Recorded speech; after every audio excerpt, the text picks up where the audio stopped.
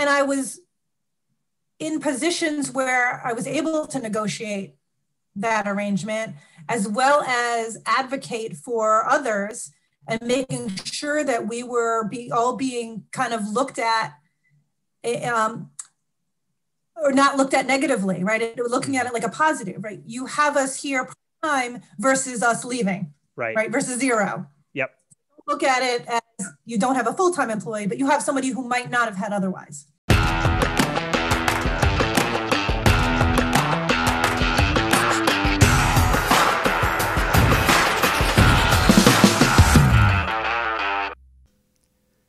Hello, everybody, and welcome to another episode of the New England Lean Podcast. My name is Paul Critchley, president of New England Lean Consulting. I'll be your host. So, lots and lots going on here at New England Lean Consulting this week. Um, so, I'll get right to it. First, uh, if you haven't already, please check out leancommunicators.com or you can follow the hashtag Lean Communicators online, either on Twitter or on LinkedIn.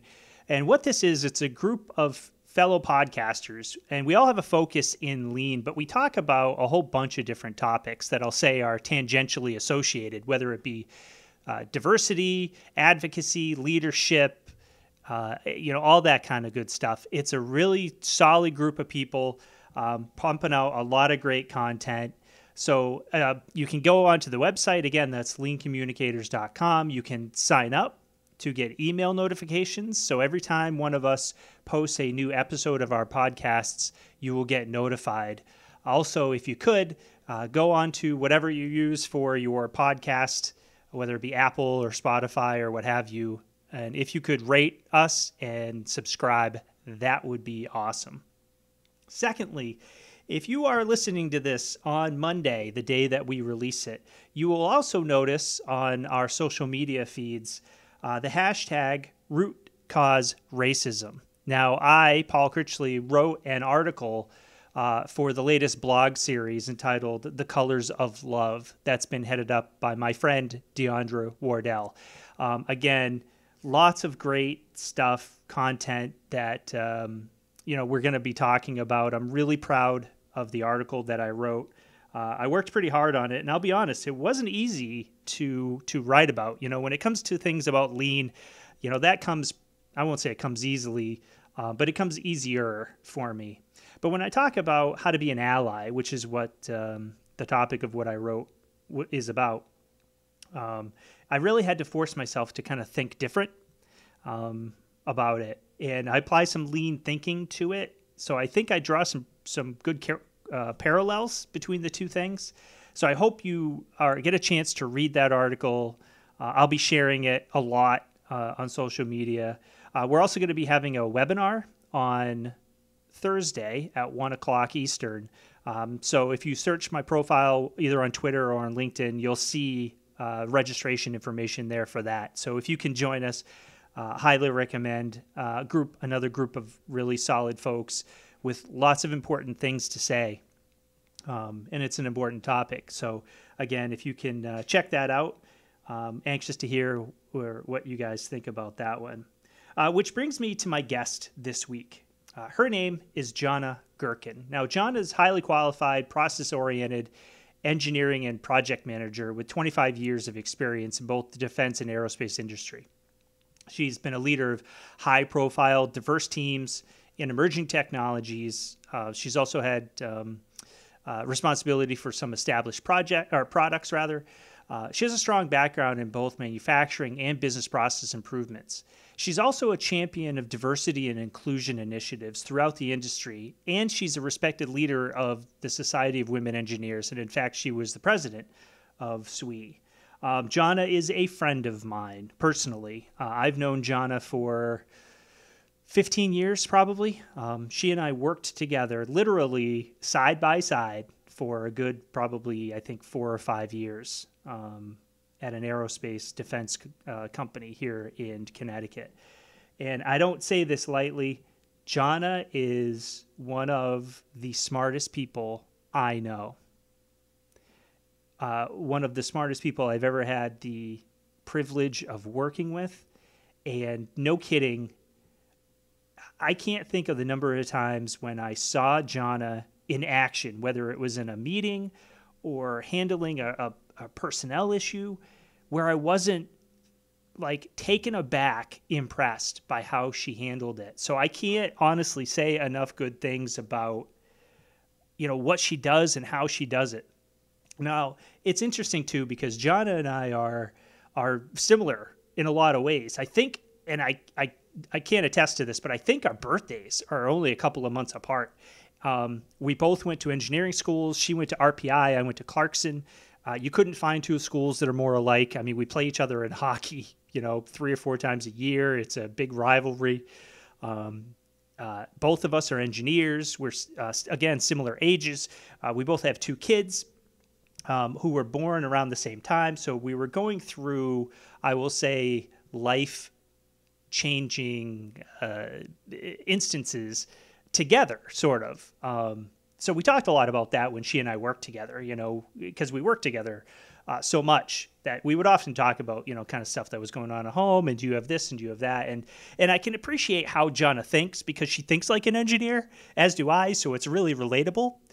Um, but the reason I reached out to her to come on the show is because this is one of those episodes where I'm doing something a little bit different. Now, we do talk some lean stuff, um, but really, I wanted to bring Jonna on because she talks a lot, both on the episode and elsewhere, about diversity and inclusion and advocacy. So I thought this episode would be poignant to release this week since we also have the blog post coming out about root cause racism, which is really along the same lines. So I thought the two really melded uh, together well.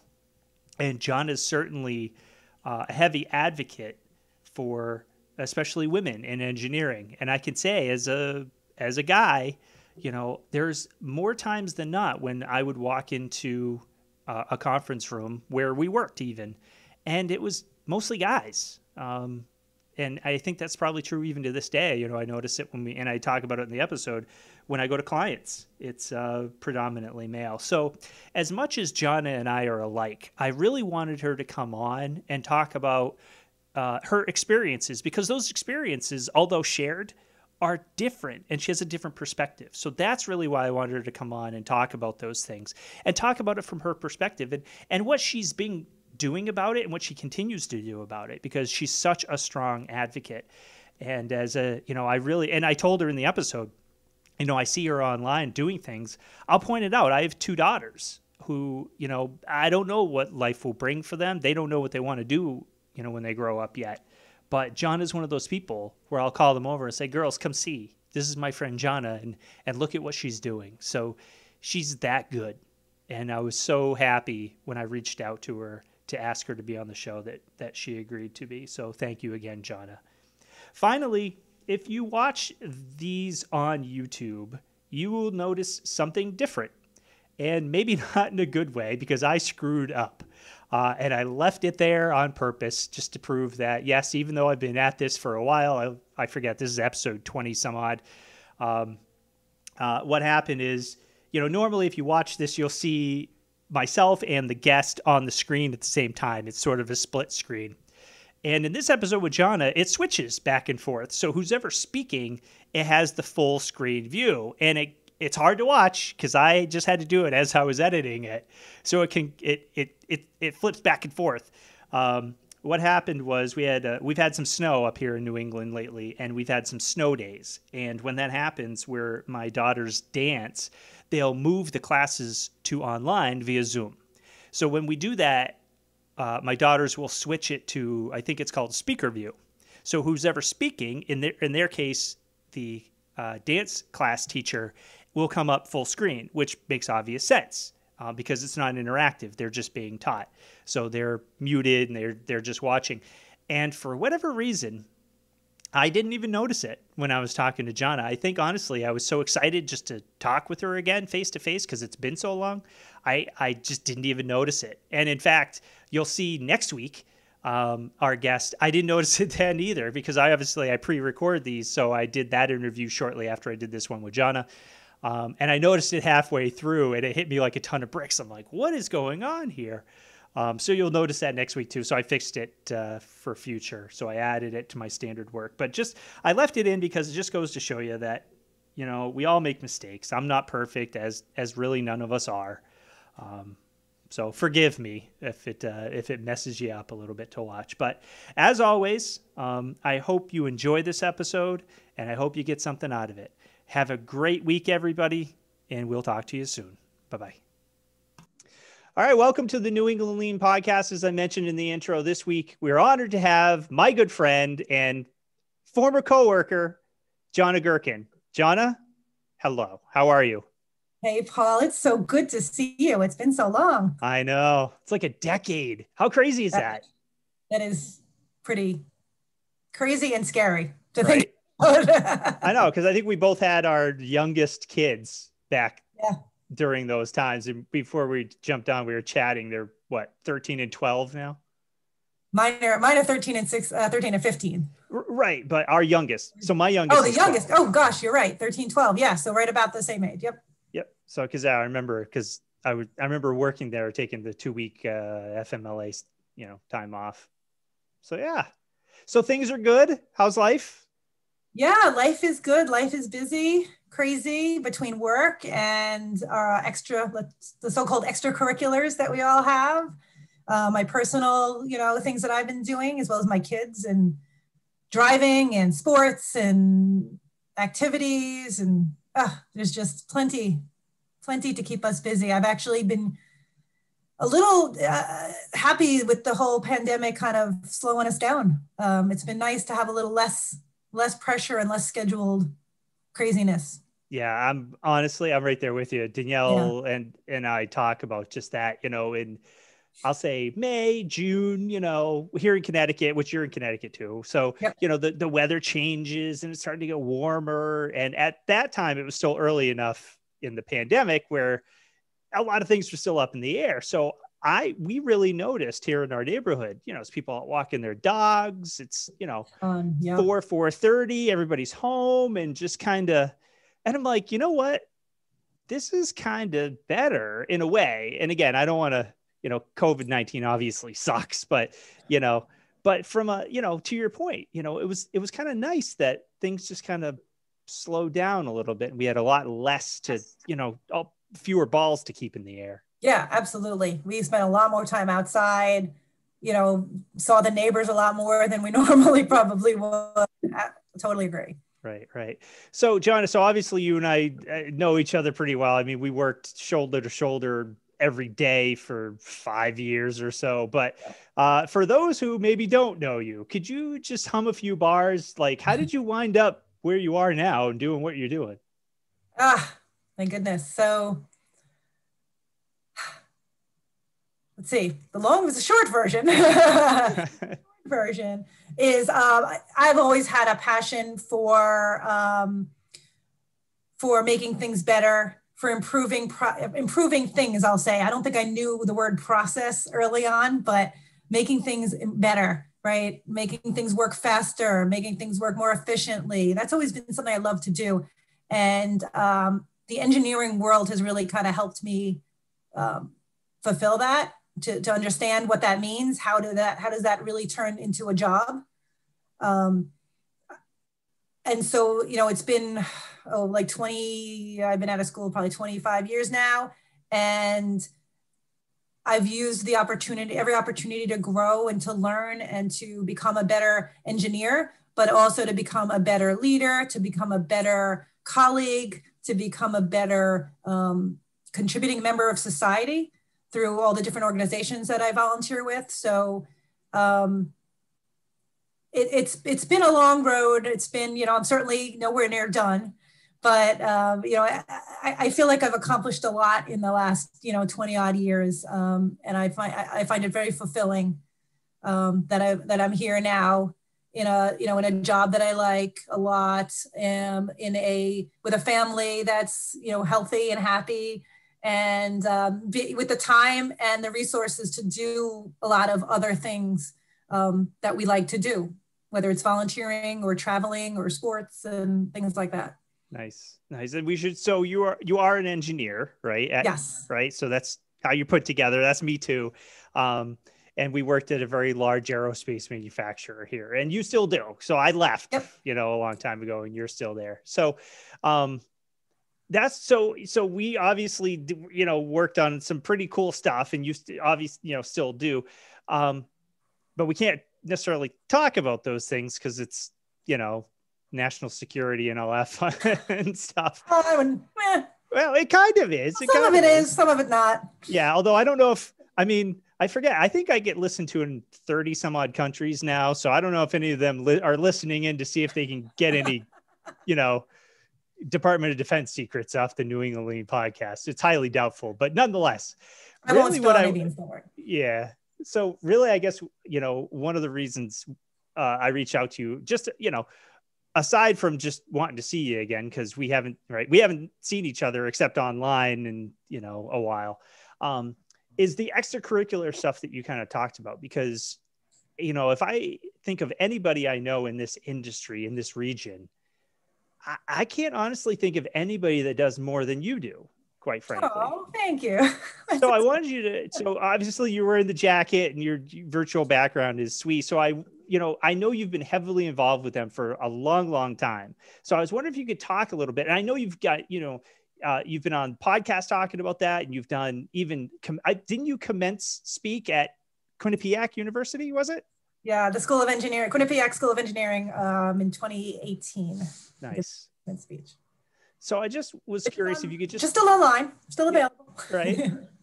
so I was just curious if you could talk a little bit about that and and you know maybe what it's been like for you and your career path and you know, chat maybe some challenges you face and then funny stories that you can share, you know, anything like that, just to kind of mm-hmm. paint paint a little bit of a picture for us. Right. Well, so SWE, Society of Women Engineers, is actually one of my passions, uh, if you couldn't tell from the, uh, and I actually didn't put on my pins. I've got a whole bunch of pins. I couldn't decide which one to wear. So I didn't put any of them on. Um, it's been a passion of mine since college. Uh, it was my lifesaver back in college when uh, I went to an engineering school. So I went to RPI, Rensselaer Polytechnic Institute in upstate New York, which um, at the time was primarily an engineering school. There really weren't that many other majors. There have since uh, added several, but um, I'm here at the School of All Engineers, and at the time, and unfortunately, still mostly men.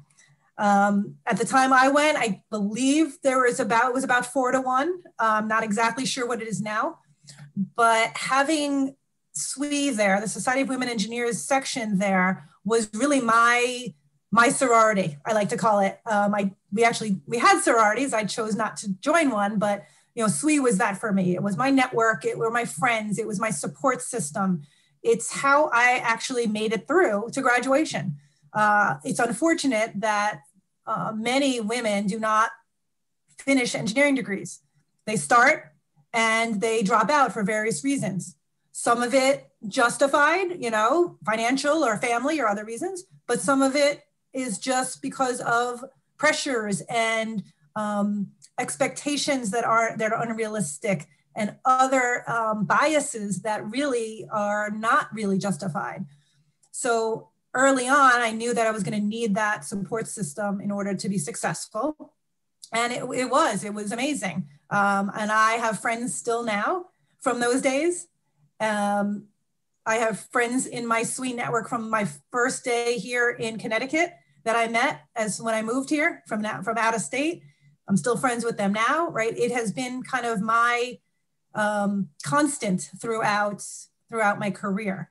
Uh, I started in the the collegiate section, just helping out, right? Doing the things you do when you're in college, you know, putting on events. And, you know, we did this amazing weekend uh, that I helped organize, or I should say, I didn't originate, it was already organized, and I helped. This was one of my first little improvement areas. I figured out how to, right, do the what we've now call this kind of the standard work or standard operating procedure. I created that for our weekend where we brought in the accepted female students. So once all the acceptances went out in the spring, we'd invite them to campus for an overnight um, to give them an idea of what the campus is like. And we were specifically obviously targeting the females because we knew that they might be the most uncomfortable coming to the campus, knowing the um, the ratio of men to women. So we had them come for the night. Their parents did some parent stuff, right? Learning about financial aid and mm-hmm. all that stuff. We organized them uh, bunking with a uh, student, right? They got to sleep over in a dorm. They got to go to classes. They got to see the dining hall. They got to do activities, right? Um, you know, so it really gave them that experience. And that, you know, was like my big contribution, right? Leaving a binder of instructions on how to do everything how to make sure you had all the approvals and the um, you know schedule and how to match right? How to match a student with the uh, you know the, the collegiate right? It was important. We were trying to match students with you know within major right a mechanical engineer with a mechanical engineer or a you know a civil engineer with a civil engineer really trying to convince them it was the right place to go to school mm-hmm. so that was you know my college career and so as soon as i moved to connecticut for my first job um, which was in a defense contract, a defense industry uh, company, I immediately reached out to the SWE section because I knew I needed them. And they helped with figuring out where should I live? Like, I don't know this state at all. Mm. I don't know where I'm going. Where should I live? I'm going to be working at this company. You know, what's the right area? Where's the great cool places to eat and hang out? And what do I need to know? Um, you know, so it was very helpful uh, that that way. And so that section, you know, I, again, I became involved helping with events, um, you know, mixers and socials and learning opportunities, right? Any way to kind of make those connections, uh, not only for my own benefit, right, to grow myself, but also to help others who might eventually be in that situation in the future.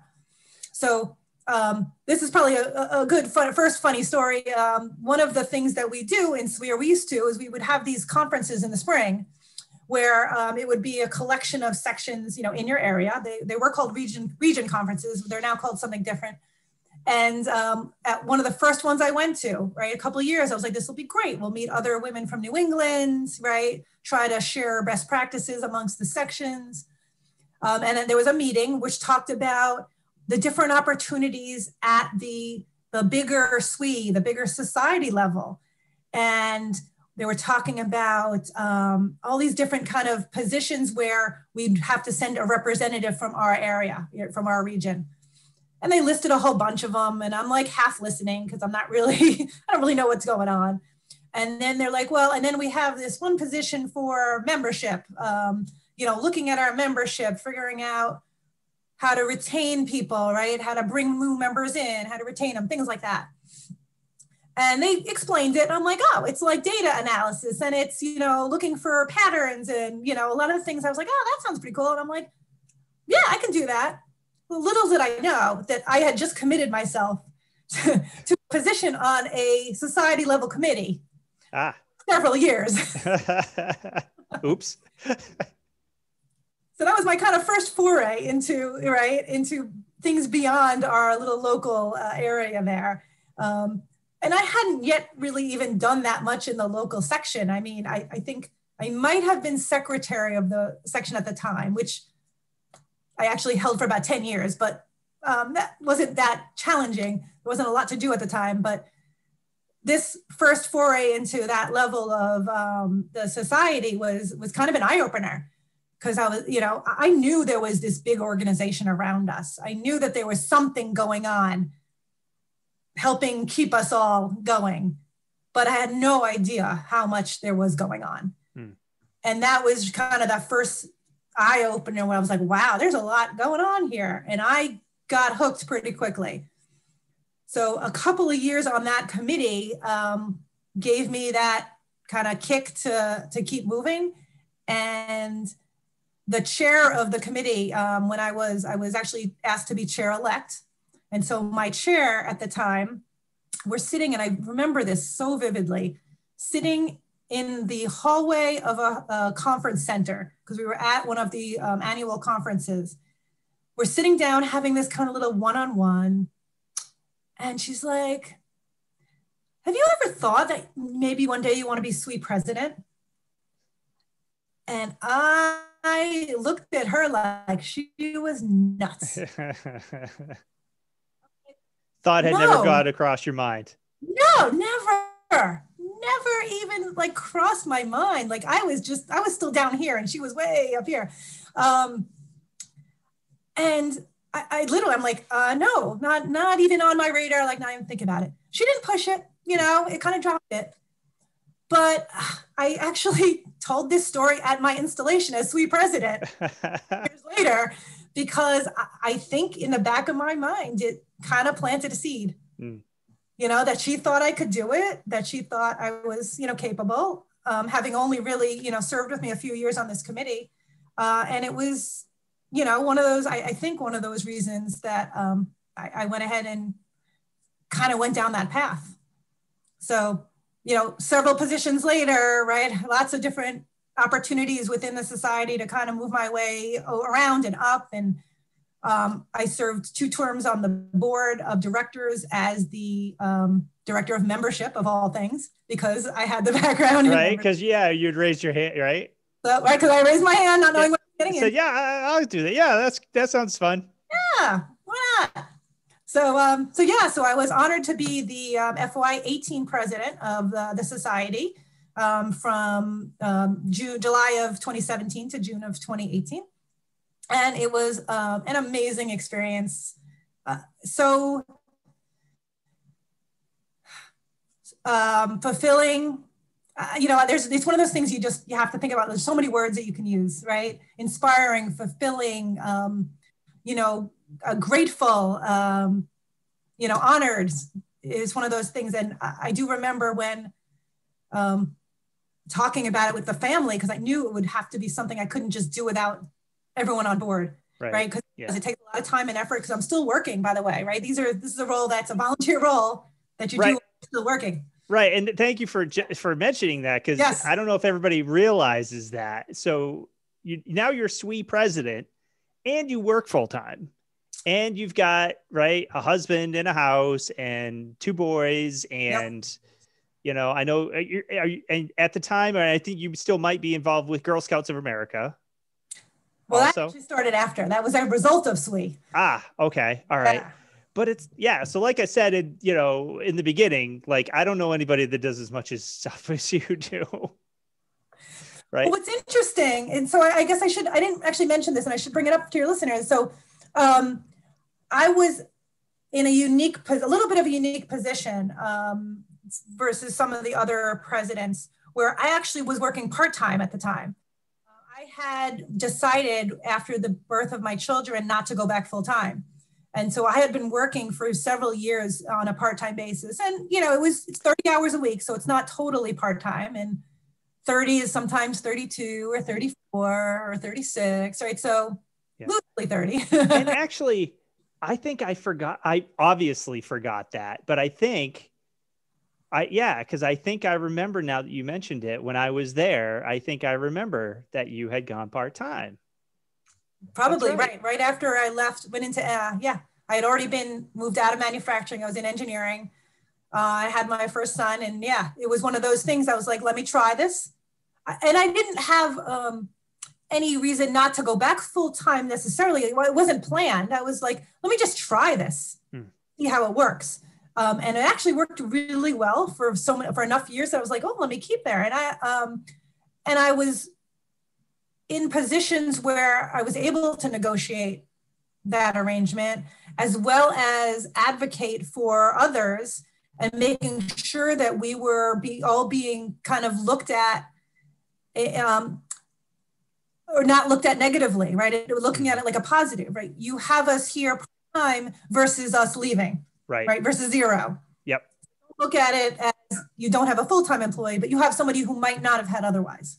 Right right. And actually so sorry go ahead. and that was no no i was gonna say but that's where kind of the whole SWE thing comes in right? Part of SWE is advocate advocacy right? Advocating for yourself is one of the important points that we try to you know teach folks. And so that's it was nice to have that learning kind of go from one to the other right? Mm-hmm.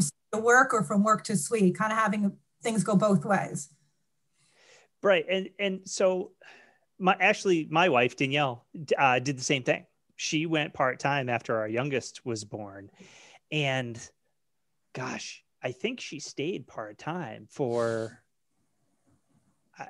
my memory fails me because it's been a while, but I think it was six or seven years. Is that kind of what you did too? Uh, yeah, well, 15. I just went back full time in December. Oh, wow. So, So there you go. So yeah, yeah. 15. So Yeah. so how can you uh, you know, I don't want to put you on the spot too too bad, but how was how you know cuz all right, so I'm a I'm a dude, I'm a guy. I don't have the I don't have that perspective, right? And it is different because you're right. When I can remember, I mean, I've I've been I've always been a mechanical engineer, and I've always been uh, in manufacturing.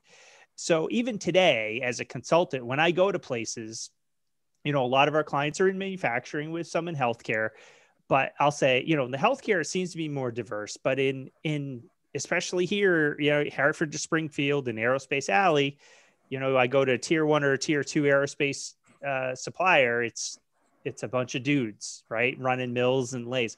So, so for for you, can you talk a little bit about what that was like to, uh, what it felt like to to go and ask? You know, did you ask permission to say, "Hey, I really, I'm thinking about doing this. I want to go part time, and you know, I'm trying to balance everything." And uh, what was that? What did that feel like? And and did you get any pushback ever? And or was it you know, uh, kind of celebrated and supported.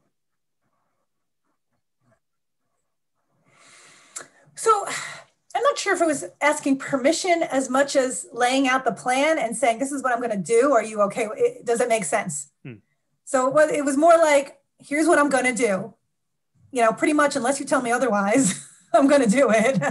But the, the really the important part was figuring out how to scope a role that would make that would be value to the company while I'm part time.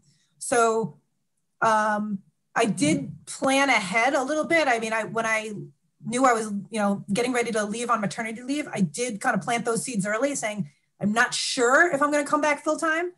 So let's think about what the options are. Um, so it wasn't a surprise, right? I didn't want to, you know, call my supervisor and say, "Hey, guess what? Hmm. I'm not coming back," or you know, "I'm only coming back part time," and you know, not full time. So I, I kind of tried to leave the options open. So as we were planning for me to return, um, I actually used, and you mentioned earlier FMLA. I used some FMLA to start to try not only to try it out, but to give time to figure out what we were going to do. Um, I also conveniently, purposely, planned to come back to different roles Ah. completely. So I wasn't coming back to something that existed. So this is probably this is a little off the tangent, but some good advice for folks. Working yourself out of a job is not a bad thing. So most of those roles, I worked either worked myself out of the job or I trained my replacement before I left, so I could come back to something different.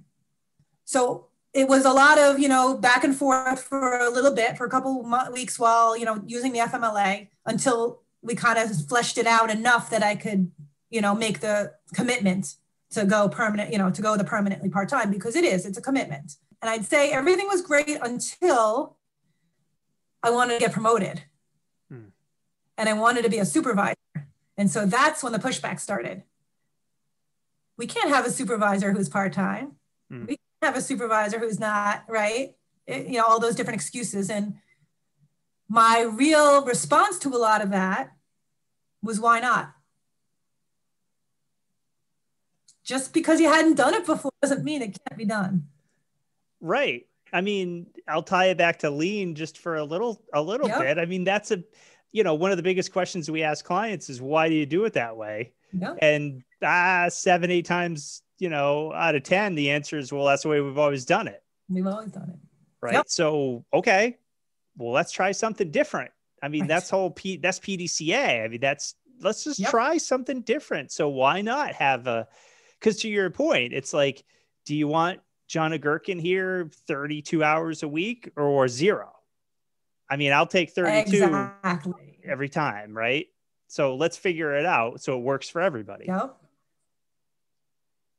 Yep. That's exactly. So that's exactly it. And I, I did come to find out later, kind of in retrospect, that it had been done before, but very sporadically throughout the company. And so unless someone in the organization knew that, right, there was not a lot of cross, you know, cross talk on on on who had done it, right? So there was no database that said, oh, here's all the people who had done it before. Gotcha. right? And there wasn't a really good way to search. So, you know, my organization, it had never happened. So in their minds, they're like, we've never done it. Hmm. so, you know, it took a while. I pushed, I pushed, I kept asking. Um, I kept every excuse or every reason, I don't say excuse, but every reason they gave, I had I had a response. Mm-hmm. Either why or here's how I would handle it. Mm. Here's how this would happen. Here's how we would do this. And um, you know, after a while, they relented. I don't know if that's the right word, but they were able to. They had an opening. Let's say we, you know, with the way the organization had evolved, they had an opening that actually worked very well. Um, for me, the key to it was um, it were they were experienced engineers who didn't really need a lot of day-to-day guidance, who were you know contributors on their you know experts in their own right, and contributors were you know yes they needed a supervisor, right? They needed an administrative supervisor, and then they really needed someone to help with their career guidance and you know development, but they didn't need somebody who was going to be there every day looking at their work you know, asking about their progress, right? They didn't need that kind of oversight. Right. And that worked really well for me in part time and not there every day. so yeah, so that we we kind of worked out the boundaries, right? Ground rules, how, how how to get in touch with me if I'm not in the office, you know, when it's okay to call at nights and weekends, and you know, we had everything laid out, and everyone was like, uh, "Yeah, I'm fine. I don't want somebody over my shoulder every day," and I want to have those career discussions. And that's really what I enjoyed most about it. Nice. Nice. So, do you feel? So, let me ask you this. And again, I, this is just a perspective that, aside from my wife, you know, and a few other close female friends, I don't know if, you know, like I don't get a lot of necessarily because I don't have a lot of these types of conversations. And I don't know if, as an industry or I don't know, as a society, if we have enough, maybe enough of those. So, um, as you were going through that, did you, what's, how do I want to ask this? Did you feel like your employer was trying to help you find a solution?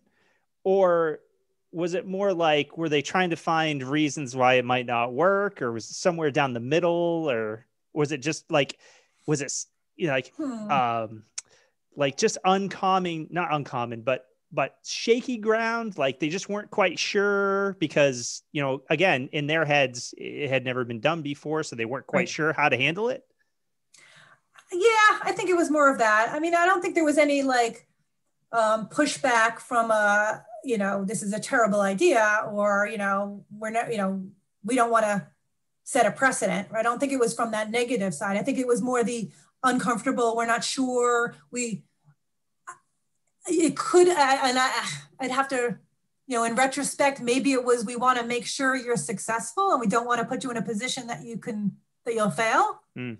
That could have been it too. Um, you know, certainly I had the support of the managers and all, and, you know, the, the management team. So, you know, it could have been a little of that, right? Let's make sure we find something that you're not going to be struggling with or feel or, or end up leaving because it's not working. Yeah, good point. That's valid. That's so. I'm glad that it, at least part of that was, you know, made you know, helped you feel that way because that's the, like the worst. Um, because I've had positions where yeah. you know, which may or may not have been at that employer. Hint, hint is where I, you know, eventually found myself in a position that I probably shouldn't have been in. You know, I mean, there were certainly aspects of it that I loved, which you know I do miss.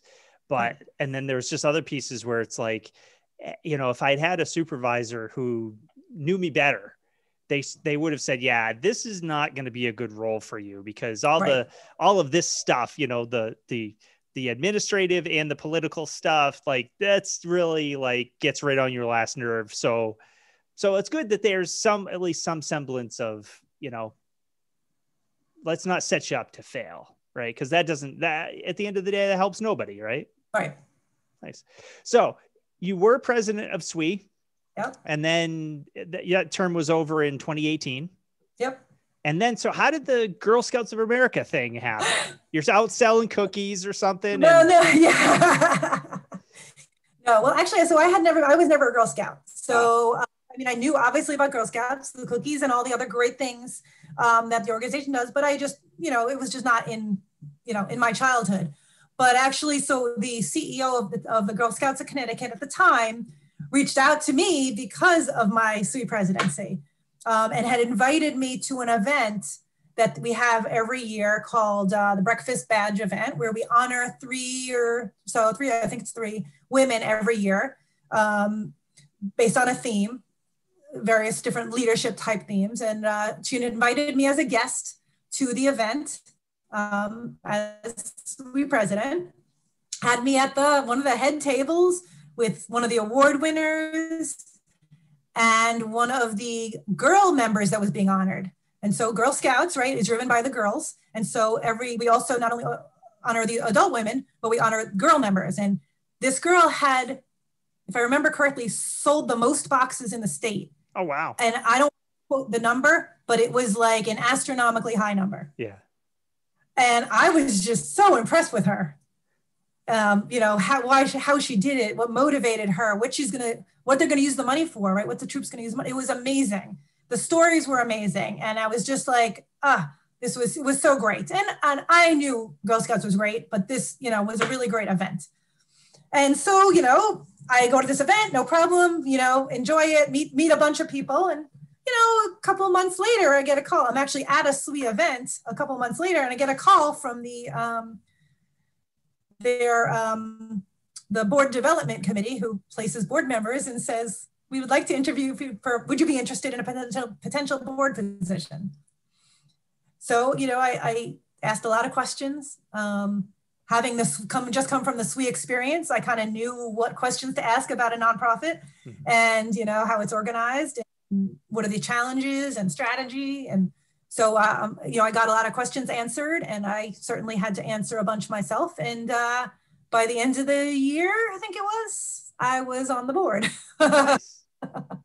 and you're still are you still there? So I am. I am. I'm still on the board. I'm actually the chair of the audit committee. Ah. And um, which also oversees the risk management plan. So that's kind of where my the strategy and all the learnings I have from SWE and, and actually from work as well kind of go into what makes a good risk management plan, right? How do you identify risks?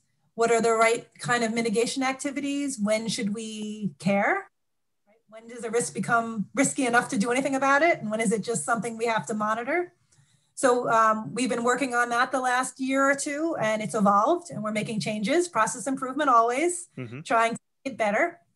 Um, staff does a lot of the work on it and we have an amazing staff. So we wanna make sure that we're not adding undue burden to their work. We wanna make sure everything's tied together and is easy for them to connect the dots between the strategy and the operational plan and you know all the different um, initiatives and metrics we have. So, so it's been great, a great opportunity. Um, we actually just uh, appointed the new a new CEO to the organization, and I was on the search committee for that, which was uh, a really cool experience. That's cool, yeah. To find a new CEO for for an organization, um, and we're thrilled that our the, thrilled that the the new CEO comes from, I'll say, sort of from within. She's been a Girl Scout all her life. Oh, and cool. uh, but she's you know she's a successful um, engineer. She happens to be an engineer, which is great. Known her for a while. Yes, go engineers. So I've known her for a while through that, and she just retired as a uh, as an executive at a um, you know at, at, a big corporation, and this is her you know dream job. She told us her dream wow. career. So nice. We're excited to that. That's cool. So, and that's so I'll tell you, John. I mean, uh, I talk, I've talked about it on the show before a little bit, and I've blogged about it. So, uh, Emma is our older one. She has very strong engineer tendencies. I don't know if she's going to wind up being an engineer in, in real life when she grows up. She doesn't know yet what she wants to be, but yeah.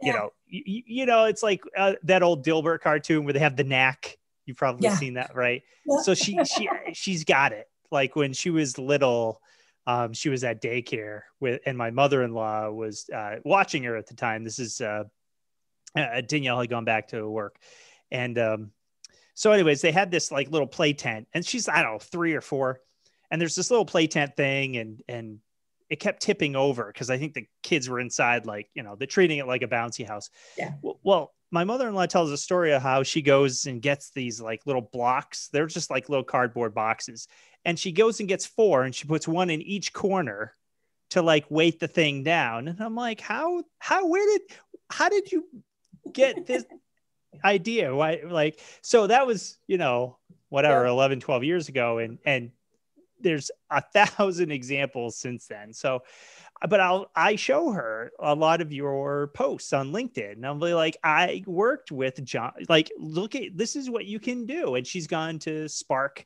at UConn uh, in the summer, you know, STEM stuff. So, um, I'll just say, as a you know, again, as you know, as a as a as a male engineer I ha- I'd like to think I have a more of a perspective on it now, especially having daughters. Um, you know, I I didn't always recognize the fact that, you know, in conference room and stuff, twenty some odd years ago, there was you know a bunch of dudes and you or or somebody like yeah. you you know and and as i was preparing to have you on the show i you know i kind of was thinking back of stuff that you and i worked on together and i'm like I was trying to think if there were any other women in the room. And I, I honestly had to, I honestly think a lot of times the answer was no. So yeah. I, I just, it's like, wow. Cause I went to Clarkson and we had same, the same, um, male to female ratio. It was like five to one, four to one right in there. And I think, you know, we're roughly the same age. And it's just like, wow. And I, I like to think that as a society, we've come a lot farther um, to focus on things like that. And I and I honestly, I'm not blowing sunshine on you. I think it's because of work like that people like you do to push so well, I'll just say push so hard and advocate so hard because you know I, there's stuff that I you know maybe sometimes I take for granted and I don't even realize it you know until I see something that you post or an instance that you know Danielle has at work, and she's not a manager, um, or mm-hmm. that that you know one of the girls my daughters have at school.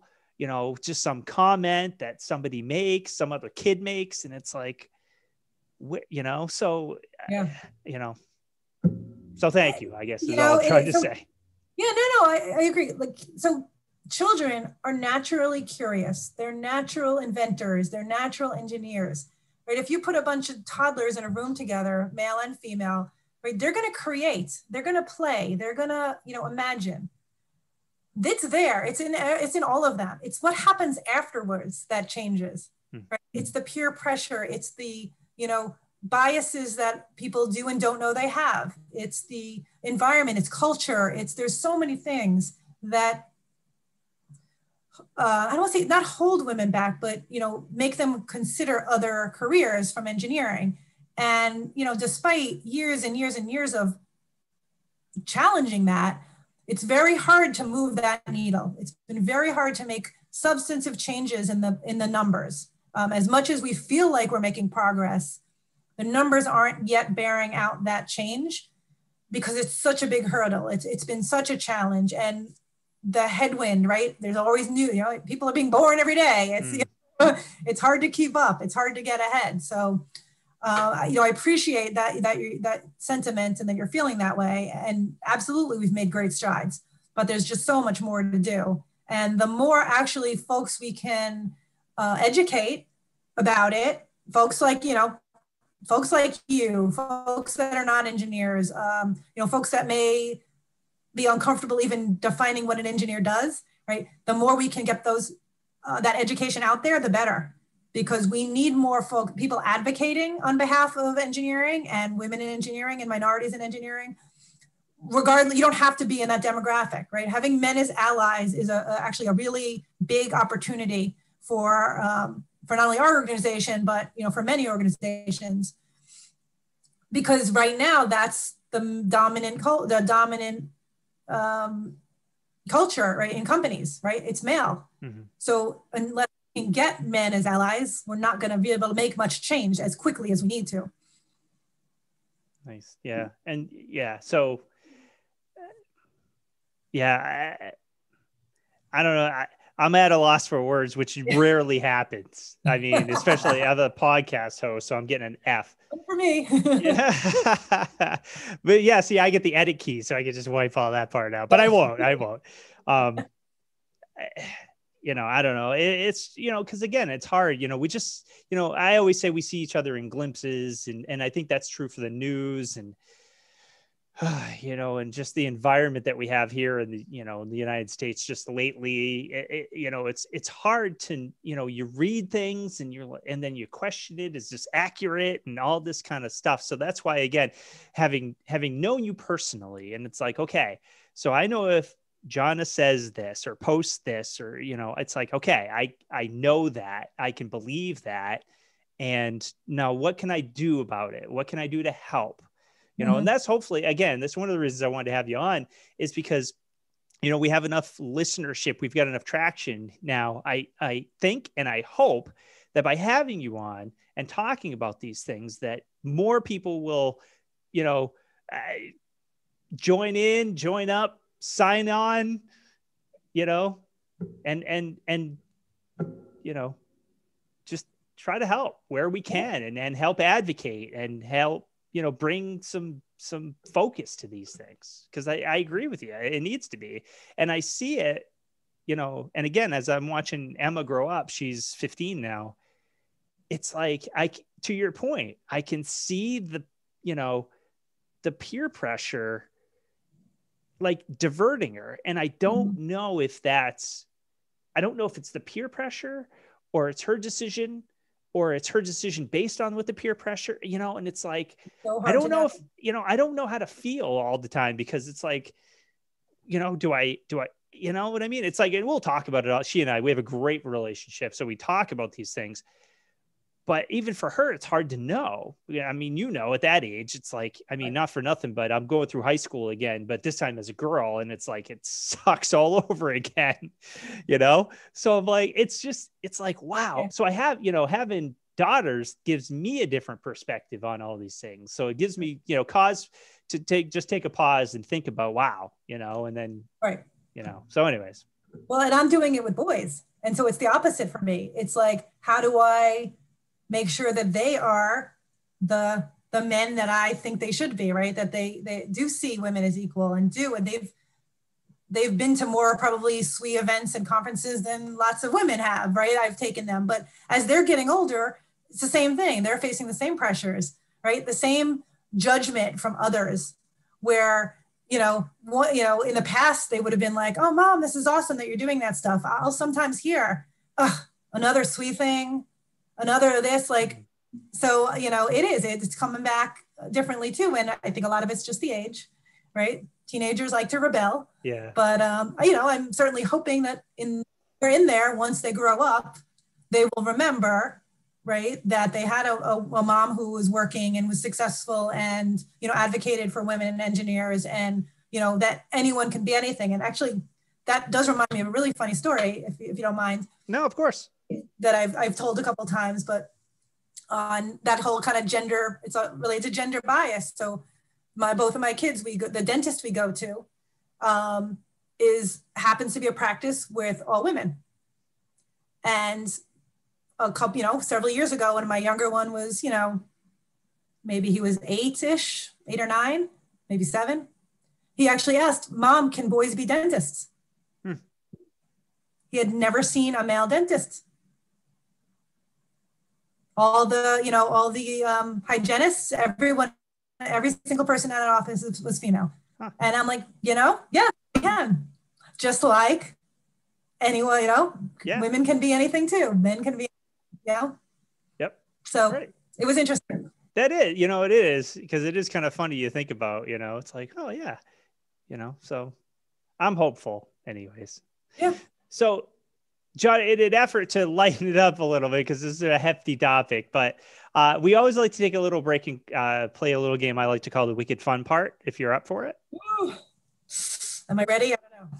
And hopefully it is wicked fun. That's the whole point, anyways. So I just have a few rapid okay. fire questions for you. You could just answer off the cuff.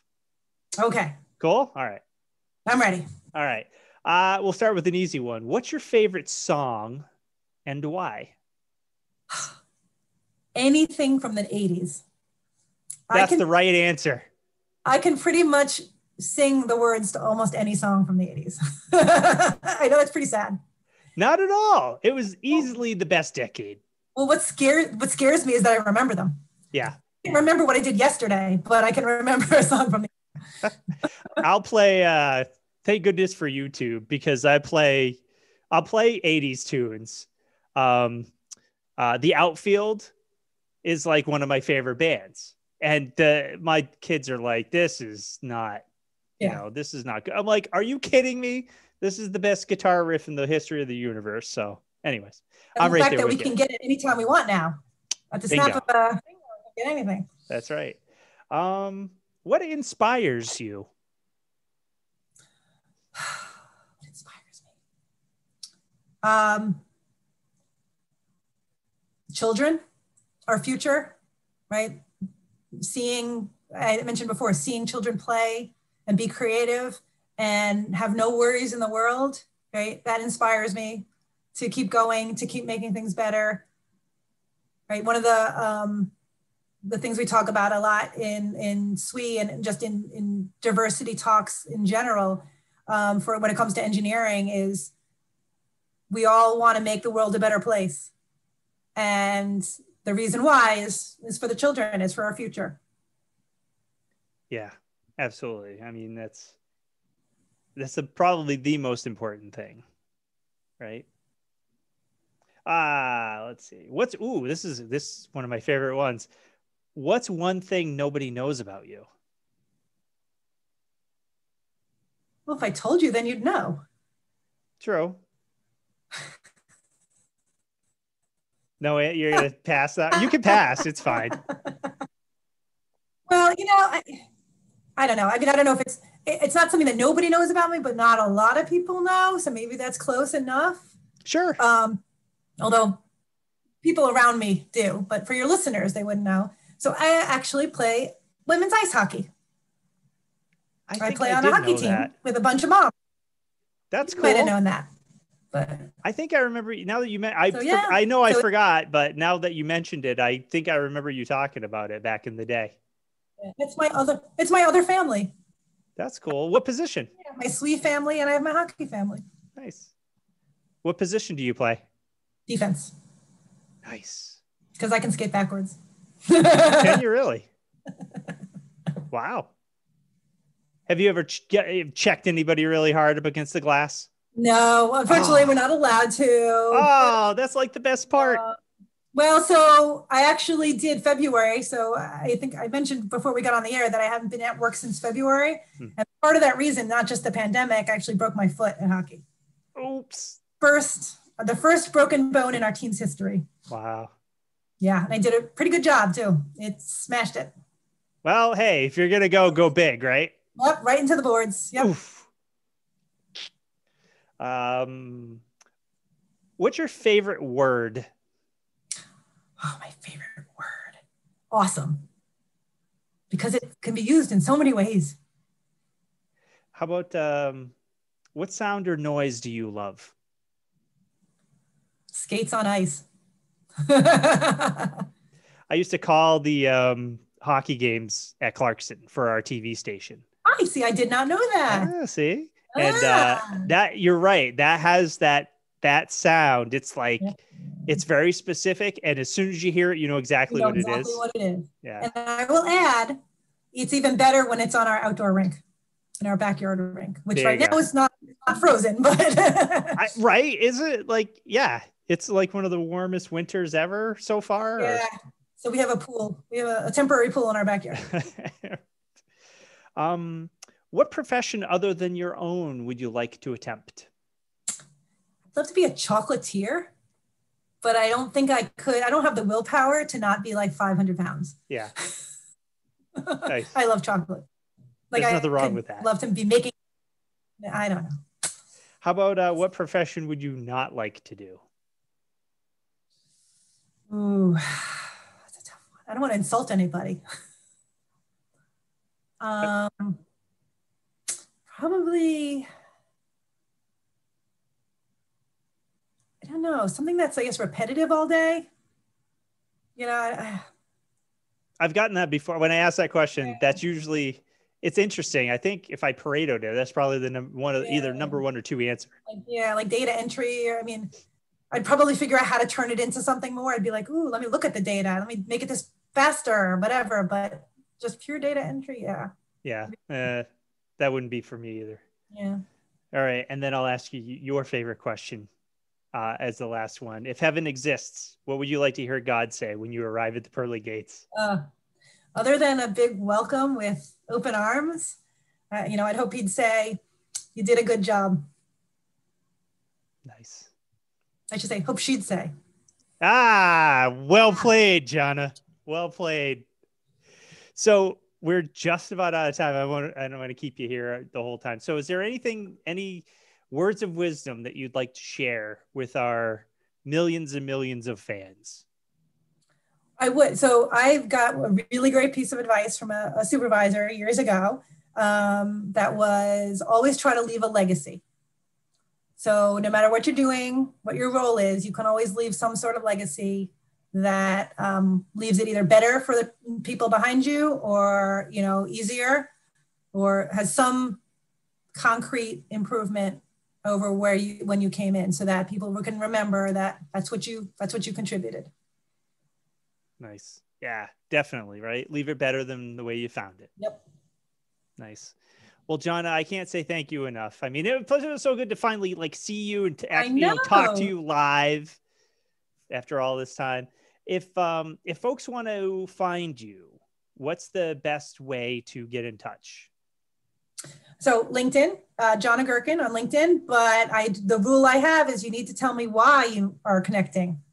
So, right, so oh you saw you saw me on the podcast or i won't accept. All right so no generic just connect. no generic nope. Got it and we will link i'll link to your linkedin profile in the show notes so if anybody's listening but so you have to listen to the end, and so that's the rule: is you have to say, mm-hmm. "I heard you on the New England Lean podcast." So exactly. All right. All right. I'm on Twitter. I have a, you know, my Twitter feed is mostly about um, STEM topics, diversity, uh, diversity and inclusion in STEM. So that's where I tend to do most of my Twitter um, feeds. So happy to have you follow me on Twitter. Okay. All right. And, and I do not so much on Instagram, so probably wouldn't be the best opportunity. Yeah, I don't. Yeah. Big Instagram. Gotcha. All right, fair enough. And then um, I'll find, or I can link out to the local SWE chapter and and Girl Scouts of America. Obviously, I'll put those links in there too. Yep. Okay. Awesome.